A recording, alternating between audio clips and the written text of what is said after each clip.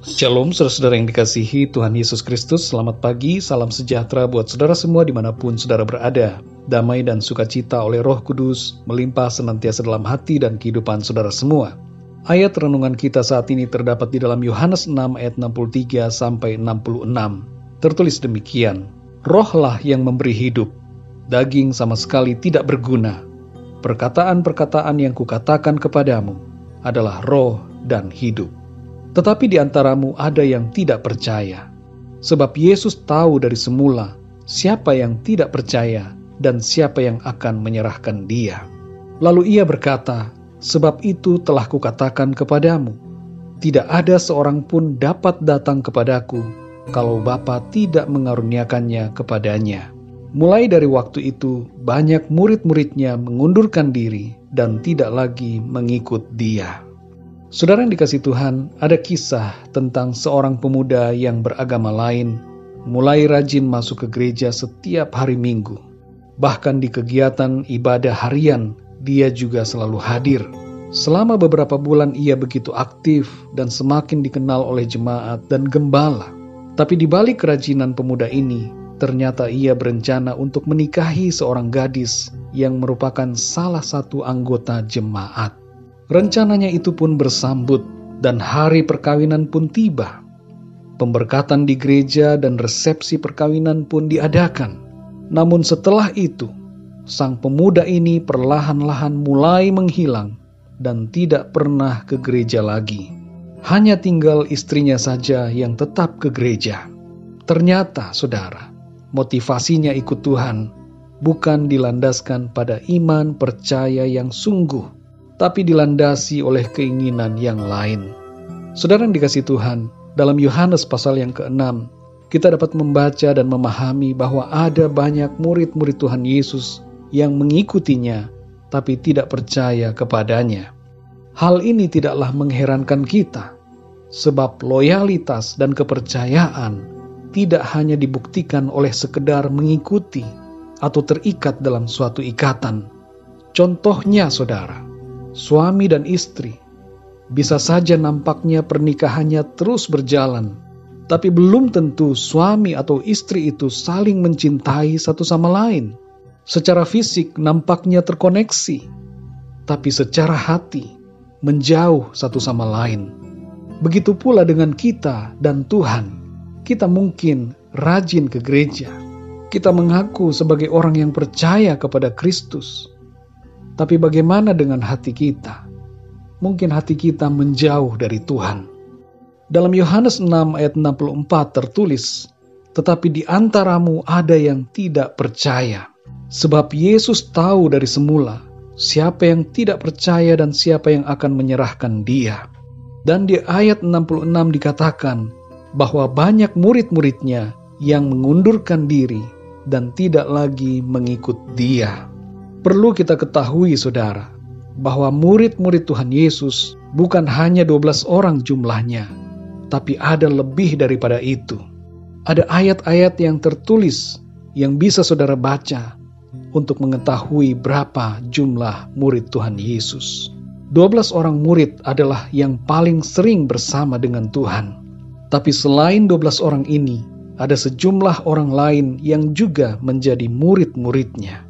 Mari kita perhatikan saudara dengan baik-baik apa yang menyebabkan murid-murid itu mundur.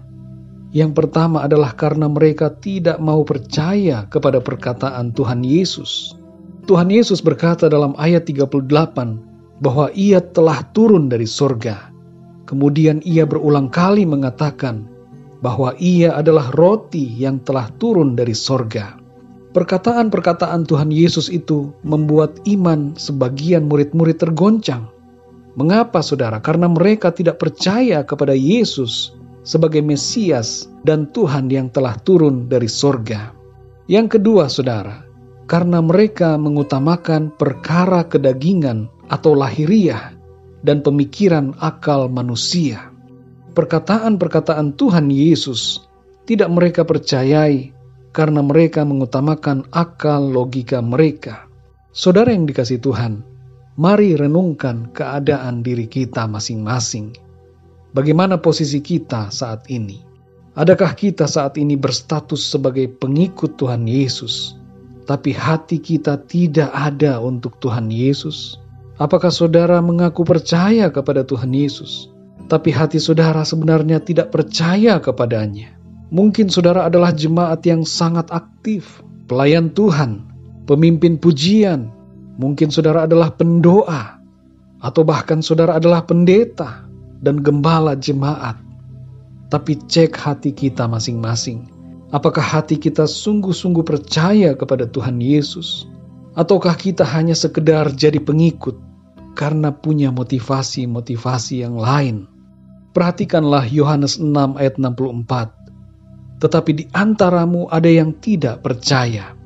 Dan kita tahu saudara, apa yang diterima oleh orang yang tidak percaya kepada Tuhan Yesus Kristus, yaitu kebinasaan sebagaimana tertulis dalam Yohanes 3 ayat 16.